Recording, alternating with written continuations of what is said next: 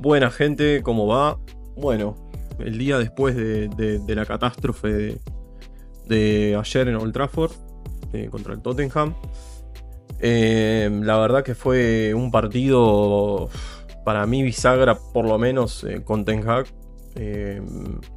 me parece que, el equipo llegó a un punto que se están acabando las excusas y, y los, las razones para seguir manteniendo a, Ten Hag eh, al mando del equipo.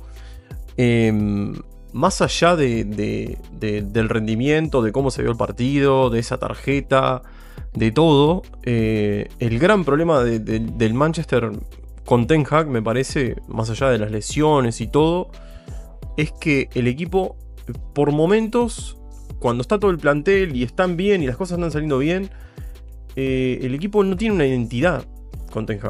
Mm, nunca sabemos a qué va a jugar el equipo con Ten. Eh, a veces ganamos partidos de contra, a veces ganamos partidos con posesión.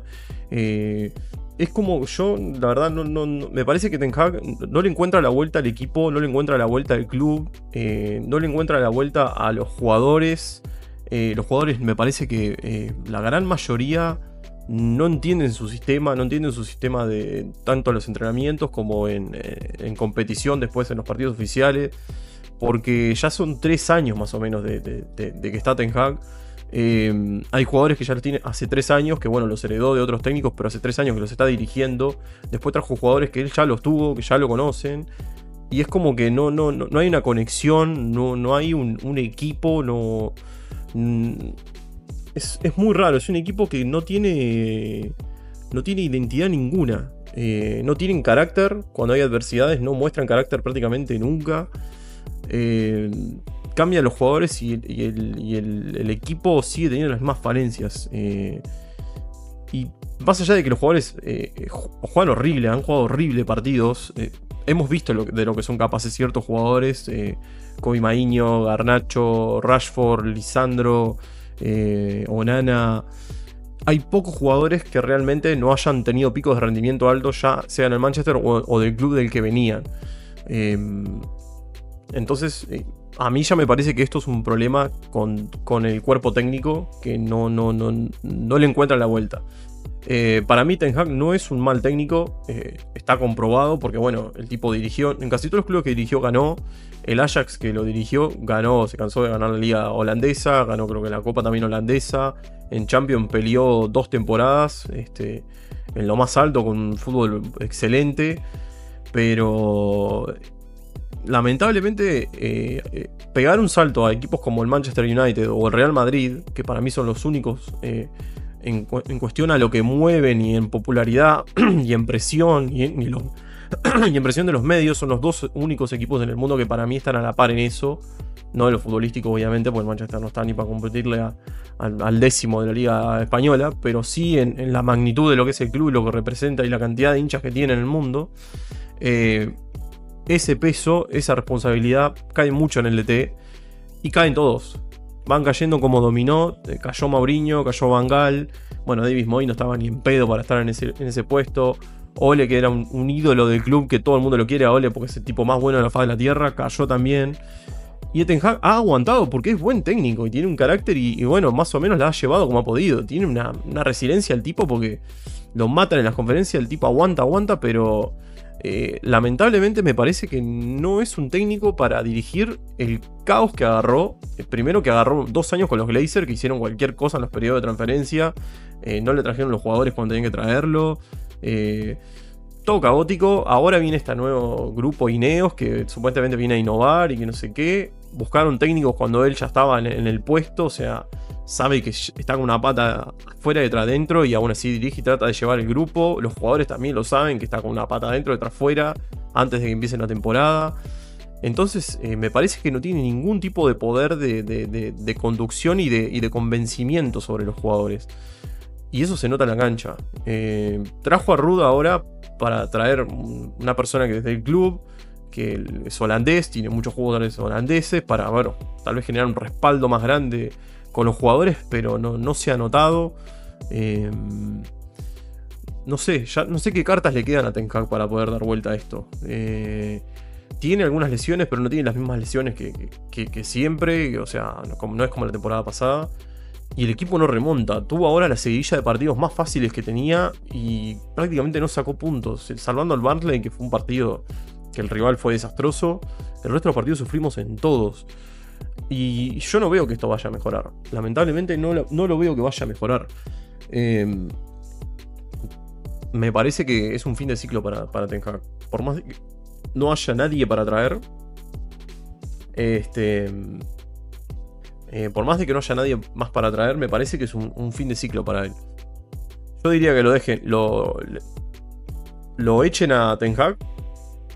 Yo diría que la opción que queda es, bueno, resignarle el contrato a Ten Hag, eh, asignar un interino, eh, ya sea Ruth Van Nistelrooy o bueno, alguien del club, asignar un interino y bueno, hasta fin de año o hasta el final de la temporada ver a quién se, se trae, porque no pueden traer a cualquier técnico por traer.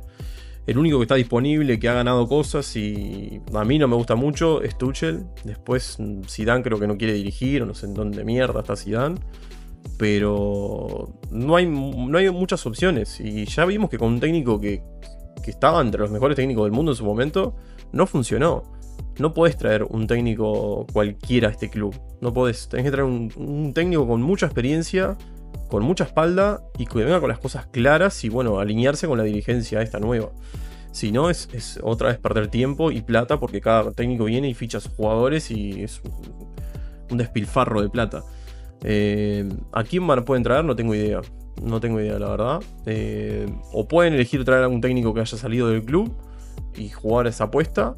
O traer lo mejor que haya disponible de renombre con experiencia lamentablemente no hay muchas opciones. La única que hay es eh, me parece. Después no creo que no hay ninguno más disponible eh, que pueda venir al club y, sea realmente una, este, una mejora. Eh, eso es lo que opino, me parece que está. Yo pondría a Ruth Van Nistelrooy de, interino y bueno, eh, ver cómo va la cosa y, empezar a, estudiar técnico, técnico para, para, el equipo. No, no queda otra. Este, sobre el partido, ¿qué se puede decir? Eh, partido desastroso. El primer tiempo del United fue de lo peor de esta temporada por robo. No puedo decir de, las temporadas anteriores porque hemos tenido peores actuaciones, pero el primer tiempo fue tétrico. Estaban en un cumple totalmente los jugadores, no marcaban a nadie, cero intensidad. El Tottenham salió a jugar como que fueran a atacar como loco y nosotros, en vez de aprovechar esos espacios, peor, desastre. Miren esta estadística: 24 tiros del Tottenham, 10 al arco, 11 del Manchester, 2 al arco. Desastre, desastre. El último tercio de ataque, un desastre. Después nos hacen un gol con el central de ellos, Van de Ven, que yo no, lo tenía, no lo conocía. Eh, cuando hizo el gol y lo terminó de hacer el gol y todo, veo que es central. Yo yo no puedo creer que un central se pegó esa corrida, atravesó hasta acá y cruzó la pelota acá a uno para que esté solo. Amigo, puede ser rápido, pero es un central. O sea, no puede meter un sprint de 80 metros y que nadie lo pare. No, no puede ser. El único que se percató que, iba expreso y no lo paraban era Delight y también llegó tarde. Pero Delight está acá de central, está mirando el, panorama. Pasó a Ugarte, creo que pasó a Maíno, a, Garnacho. Eh, la perdió eh, Rashford en realidad acá, que la perdió y se quedó caminando y lo miró. Garnacho hizo lo mismo.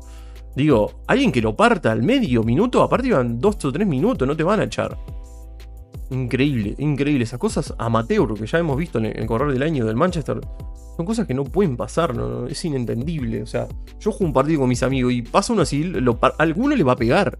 O sea, no, no, no. Es básico del fútbol, no tienen sangre, no, no piensan, no, no, entiendo. La verdad, esto fue siniestro ese gol. Y el de acá se llegaba solo también, no sé. Es como que no hay conexión, no se habla, no, inentendible. Este.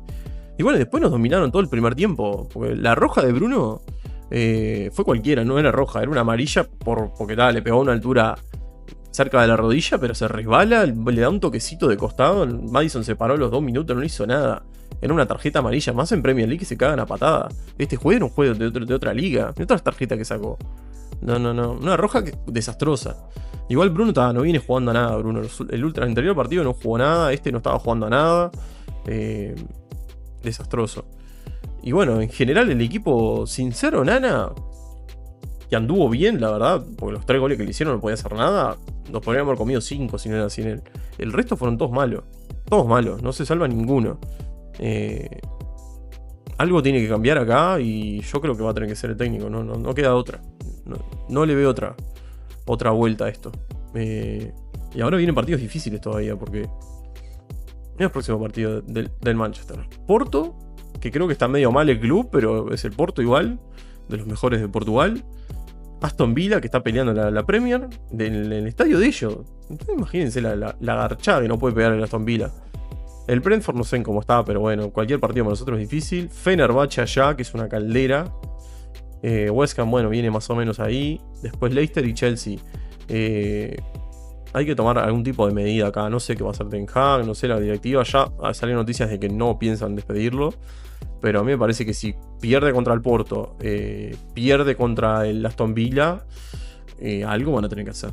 No sé, no sé en qué va a quedar esto, pero el United está, está en, el precipicio ya cayendo, cayendo, cayendo. No sé cuándo va a tocar tierra, pero esto está, está mal, mal.